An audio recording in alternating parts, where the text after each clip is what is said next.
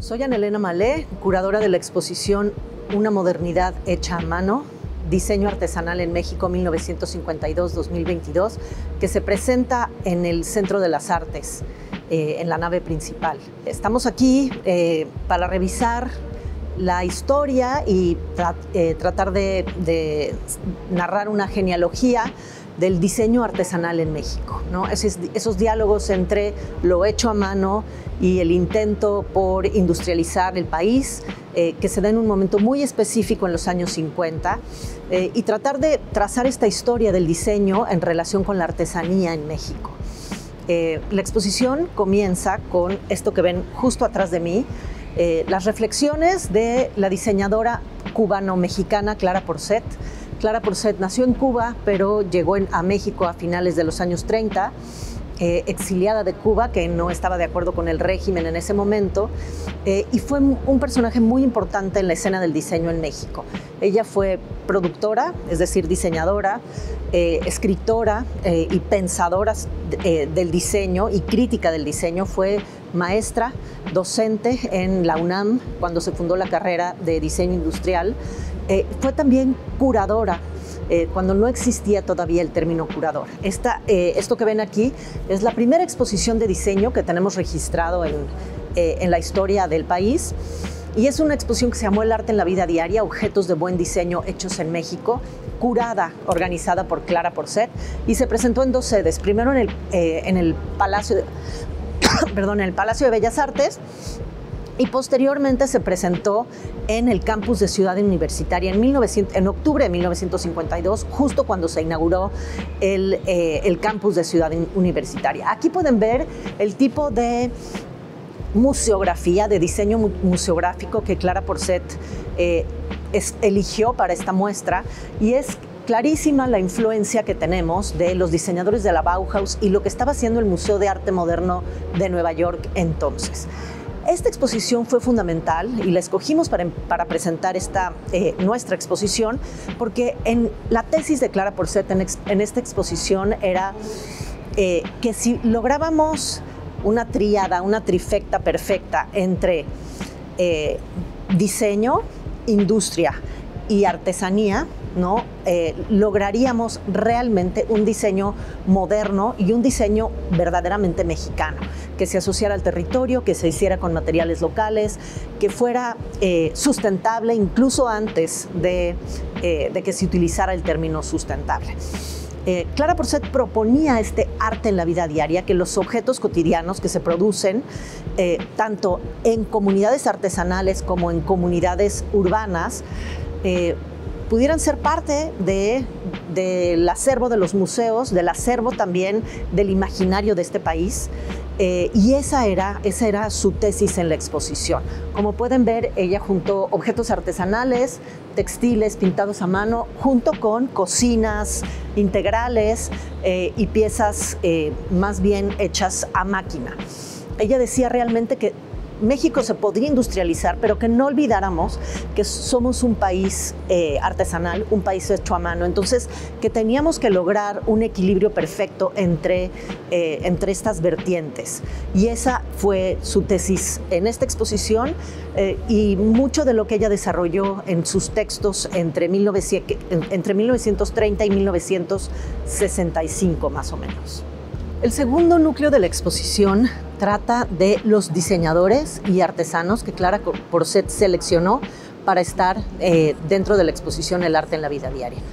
Eh, muchos de ellos fueron diseñadores extranjeros. Recuerden que eh, después de la revolución, en los años 30, hubo un momento de generar un proyecto nacional, de tratar de pacificar al país, de homologar la identidad nacional y eso se hace a través de un proyecto en donde pues, el indigenismo está muy presente y esta idea de recuperar las raíces, de voltear a lo local.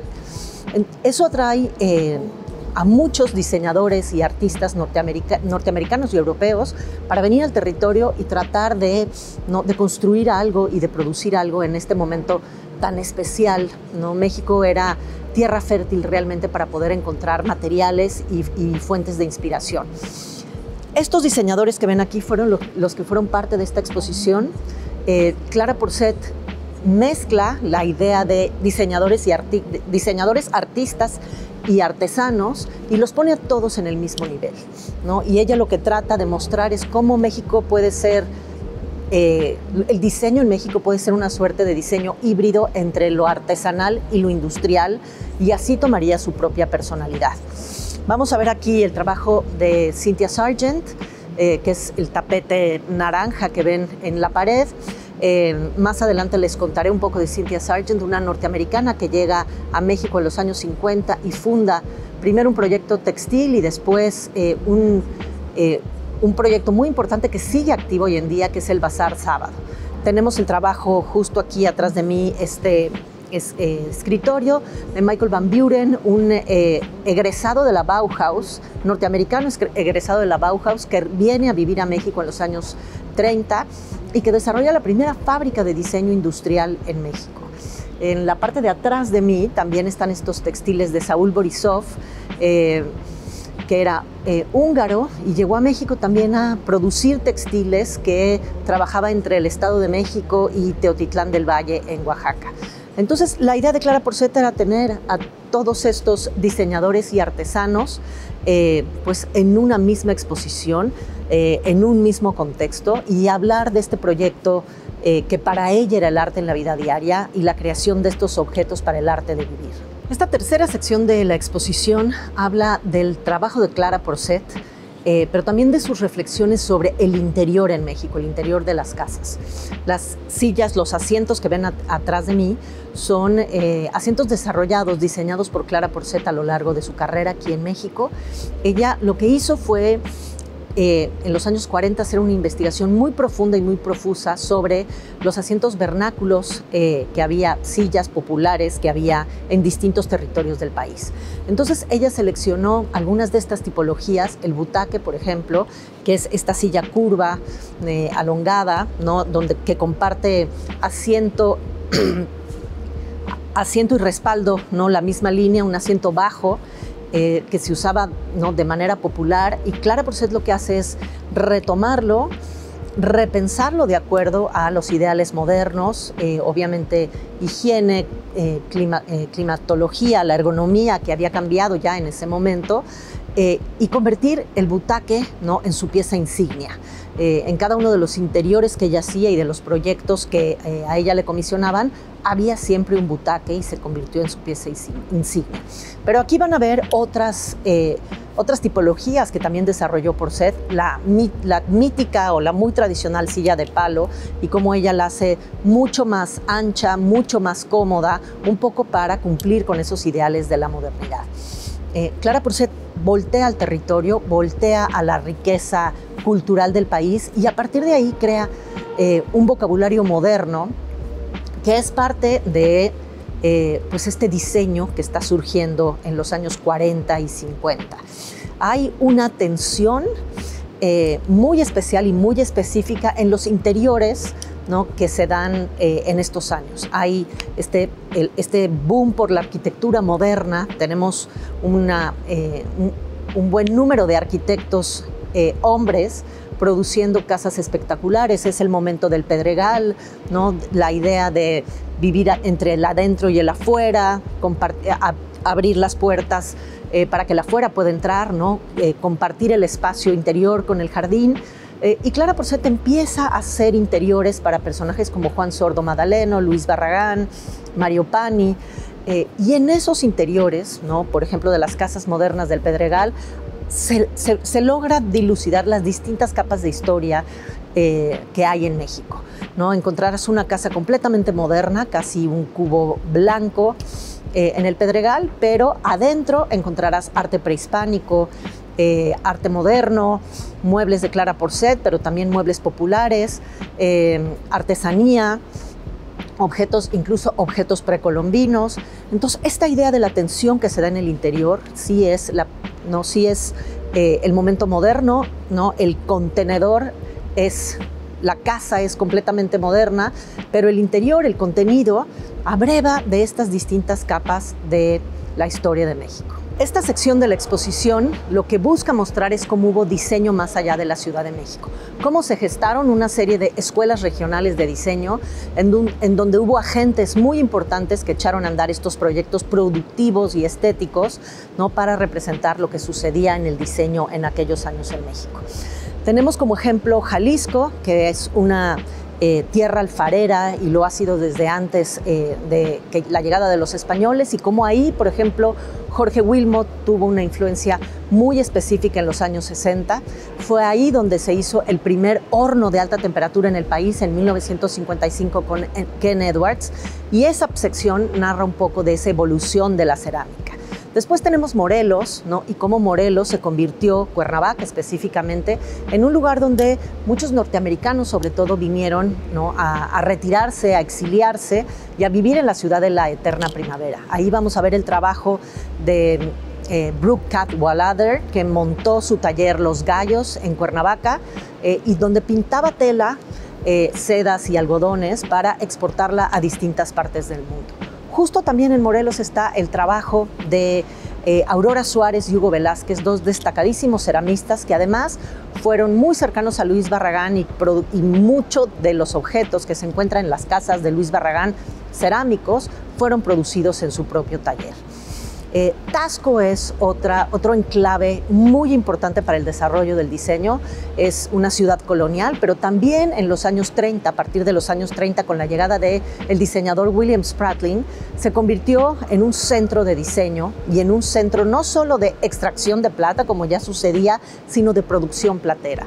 El gran mérito de Spratling fue haber construido un taller donde cada artesano aprendía el arte de la plata, cada una de los elementos, de los eslabones del arte de la plata y al final llegaba a convertirse en maestro platero. Muchos de esos maestros plateros se independizaron para crear sus propios talleres y así dar eh, luz a la escuela tasqueña que tan famosa se hizo hasta más o menos los años 80.